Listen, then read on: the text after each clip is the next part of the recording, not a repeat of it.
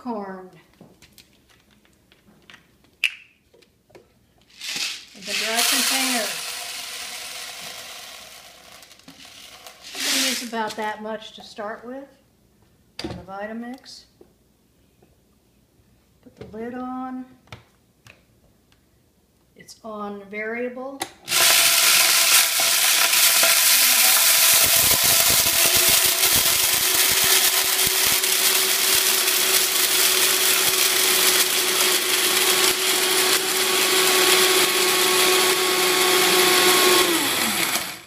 Can see we now have coarse cornmeal. This would be suitable to go on a pizza peel.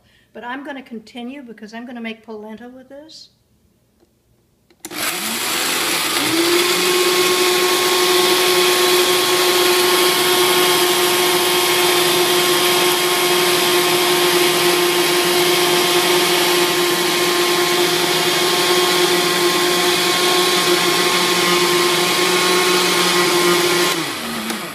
You can see when it starts to fall slowly back down from the sides, that's when you're getting the smoother texture that you want.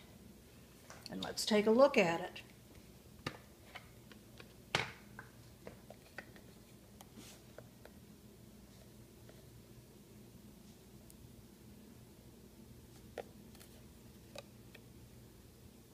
And that's cornmeal made in the Vitamix dry container.